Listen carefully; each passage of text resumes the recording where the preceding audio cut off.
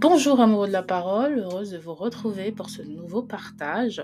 Aujourd'hui, nous allons parler de quelques erreurs à éviter lorsque nous transmettons la parole de Dieu, puisqu'en tant que chrétien, que ce soit au travers de prophéties, de paroles de connaissance, d'encouragement ou simplement d'avertissement, de recadrage par rapport à la parole de Dieu, nous sommes, amenés à partager la pensée de Dieu, nous sommes amenés à euh, transmettre la parole de Dieu, pas seulement à des chrétiens comme nous, mais aussi à des personnes, des personnes extérieures au monde chrétien. Le psaume 119, 160 nous dit la somme de ta parole est la vérité et toute éternelle justice est le jugement de ta justice. Donc la parole de Dieu, c'est vraiment une vérité que nous ne devons pas altérer parce qu'elle est porteuse de sa justice. Et nous devons la transmettre avec fidélité et ne pas l'altérer. Si vous m'écoutez pour la première fois, je suis Luis du blog ilestécrit.com et je vous embarque dans une petite virée biblique.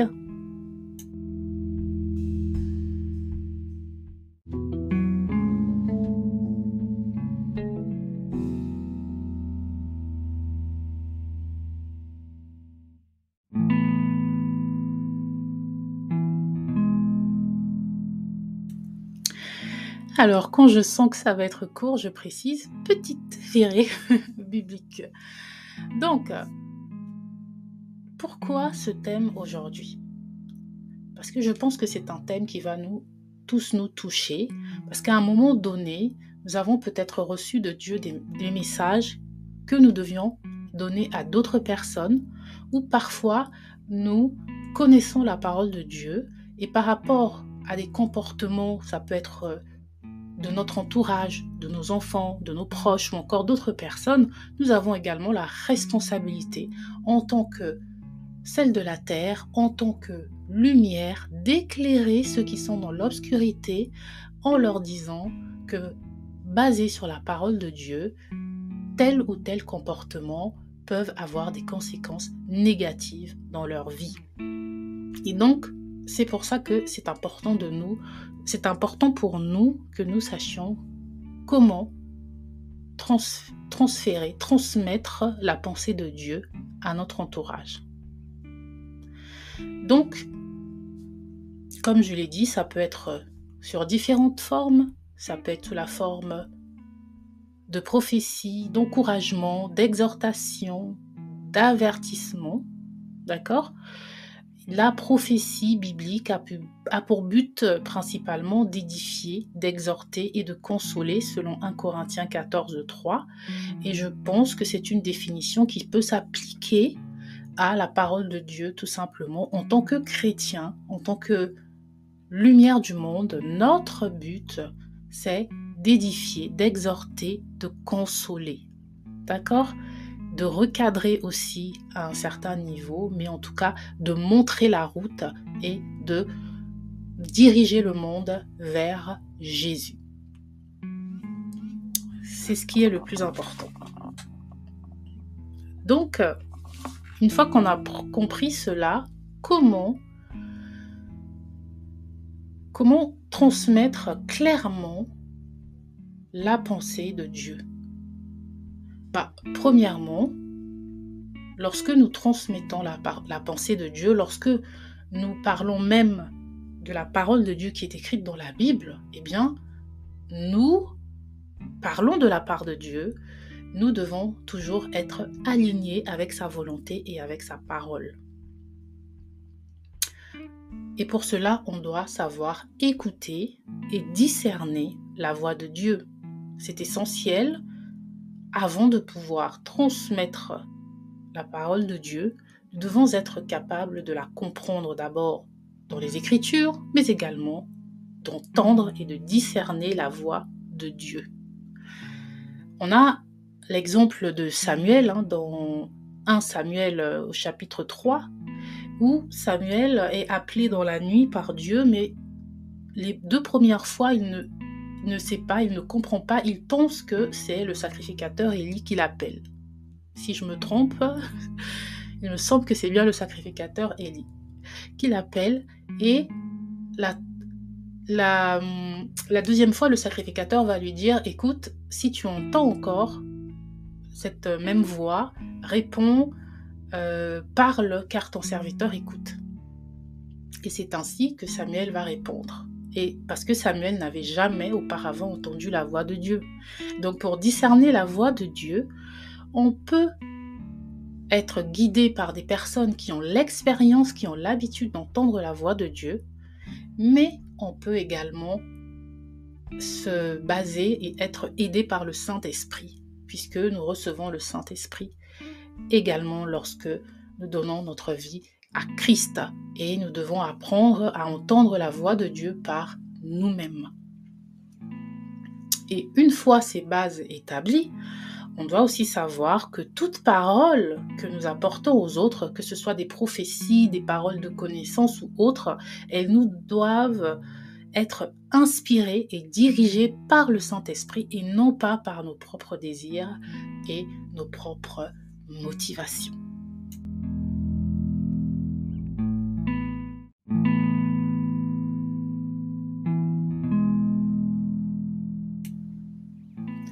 Donc, quelles sont ces erreurs à éviter lorsque nous disons parler de la part de Dieu? Bah, Premièrement, comme je l'ai dit, nous ne devons pas parler en fonction de notre ego. On doit éviter de parler pour obtenir de l'attention ou de la gloire personnelle. Si vous êtes, euh, je donne un exemple, vous êtes dans un groupe où chaque personne a des, des paroles de connaissance ou des prophéties de la parole de Dieu et que vous, vous êtes la seule personne à ne rien recevoir, et tout d'un coup, vous aussi, en voulant faire comme les autres, vous commencez à prophétiser, à donner des paroles de connaissance juste pour faire comme les autres. Non, vous ne devez pas faire de la sorte. Ce n'est vraiment pas correct. Et malheureusement, il y a des personnes qui tombent dans ce piège et c'est vraiment de l'immaturité. Le deuxième exemple, c'est ajouter à la parole de Dieu. Il ne faut jamais ajouter à la parole de Dieu ou donner des messages contraires à ce qu'elle enseigne. Dans Jérémie 23, 16, on nous dit Ainsi parle l'Éternel des armées, n'écoutez pas les paroles des prophètes qui vous prophétisent, ils vous entraînent à des choses de néant, ils disent les visions de leur cœur et non ce qui vient de la bouche de l'Éternel. Donc on voit dans ce verset qu'il est possible de donner la vision de nos cœurs et non ce qui vient de la bouche de Dieu. Et ça peut paraître évident, mais ça peut être aussi quelque chose de subtil. Je vous donne un exemple. Admettons que euh, vous voulez recadrer une personne sur la parole de Dieu et vous lui donnez un verset qui dit que il ne faut pas euh, il ne faut pas faire X ou X chose. J'ai pas d'exemple qui me vient à l'esprit, mais parce que vous avez aussi un avis sur cette personne et que peut-être que vous ne nourrissez pas de bons sentiments envers cette personne, plutôt que de vous contenter de partager la pensée de Dieu au travers du verset, vous allez continuer à aller plus loin et émettre un jugement par rapport à cette personne. Et lorsque vous rajoutez à la parole de Dieu, vous pouvez mettre des personnes, surtout lorsqu'elles ne sont pas chrétiennes, ou même si elles sont chrétiennes, elles ne sont peut-être pas encore bien ancrées dans leur foi, elles peuvent douter de Dieu et elles peuvent être dans la confusion n'est-ce pas? Euh, Pour vous donner mon exemple, une fois une personne m'a donné une réponse de Dieu, un message de Dieu, mais la personne a rajouté à sa propre, sa propre pensée dans, dans le message.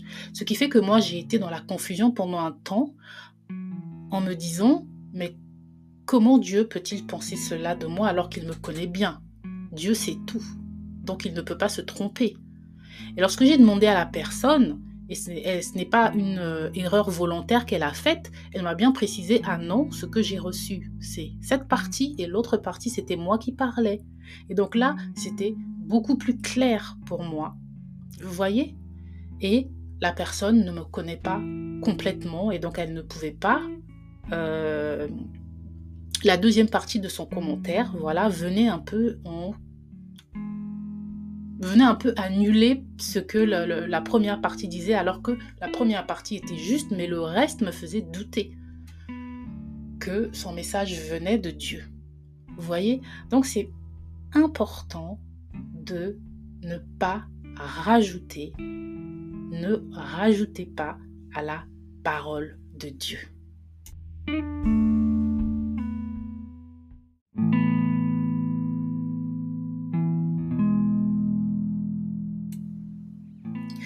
Une autre erreur lorsque nous disons aussi euh, parler pour Dieu, enfin parler pour Dieu, parler de la part de Dieu ou partager la pensée de Dieu, c'est euh, de, mitiger. C'est un peu comme ce que je viens de dire, de rajouter notre propre avis à ce que Dieu veut, vraiment dire, mais ça va être euh, d'essayer d'édulcorer notre message par peur D'accord? Euh, Je vous donne un exemple. Dans, la Bible, on a par exemple le prophète Nathan, il va aller voir David. Dans, la deuxième, dans le deuxième livre de Samuel, au chapitre 12, on sait que Nathan va aller voir David, il va lui raconter une histoire et au final, il va lui dire que euh, ben, en fait, cette histoire le concerne puisque ça représentait ce qu'il avait fait. Il avait euh, fait tuer un homme pour cacher le fait qu'il avait été, qu'il avait commis l'adultère avec sa femme. D'accord? Et donc, euh, le prophète Nathan aurait pu se dire ah non c'est un roi, je ne sais pas comment il va réagir et si il me mettait à mort parce que je vais, je connais son, son secret. Vous voyez un peu ce que je veux dire? Donc parfois parce qu'on a peur de ce que l'autre va penser, de comment l'autre va réagir, de, des risques que l'on prend, on ne va pas aller parler de la part de Dieu. Donc lorsque, surtout lorsque vous êtes prophète, lorsque vous, pas forcément prophète, vous pouvez parfois recevoir de Dieu euh, des, euh, convictions qu'il vous demande, il vous demande d'aller parler à certaines personnes. Et parce que vous avez peur, la peur nous empêche, d'accord, d'aller transmettre la, parole de Dieu. Ou bien on va aller parler, mais on va omettre, non pas ajouter, mais retrancher à la parole de Dieu. Donc ça aussi, c'est une erreur à ne pas commettre. Voilà. Donc, juste pour finir, vraiment, euh, c'est important de discerner la voix de Dieu, de nos propres pensées et des influences extérieures. Ce n'est pas toujours facile, mais c'est important. Et lorsque nous sommes dans le doute, nous devons vraiment interroger Dieu jusqu'à avoir la réponse, jusqu'à être sûr. Parce que bien souvent, lorsqu'on est dans la, dans la précipitation, on va donner des messages qui vont peut-être condamner. On doit vraiment faire en sorte que la parole de Dieu la parole que l'on reçoit soit validée d'abord dans les Écritures et surtout, ça ne doit pas être une parole qui condamne. Il est vrai que dans les Écritures, Dieu dit à ses prophètes aussi d'aller prévenir des personnes pour leur dire, vous avez fait telle chose, je vais, euh, je vais vous condamner ou il y a telle chose qui va arriver. Mais quoi qu'il en soit, il faut vraiment veiller à ce que ça vienne réellement du cœur de Dieu partager la pensée de Dieu en tant que chrétien, c'est premièrement pour édifier et équiper aussi l'Église, les autres croyants, et c'est aussi pour diriger ceux qui ne connaissent pas Jésus vers notre Sauveur. D'accord?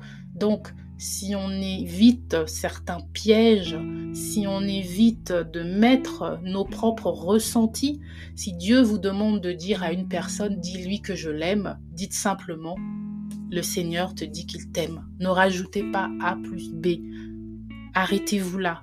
Pas besoin d'élaborer.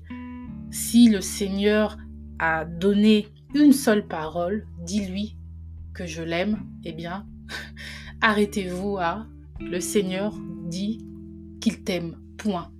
Parce que lui seul sait quel impact ces, simples mots peuvent avoir dans le cœur d'une personne. Vous n'avez pas besoin d'entrer dans les détails. N'ajoutez pas à la parole de Dieu et ne retranchez pas non plus à la parole de Dieu. Merci de m'avoir écouté. Si ce message qui était censé être court vous a édifié, N'hésitez pas à liker, partager, pas moi, mais la parole. Ciao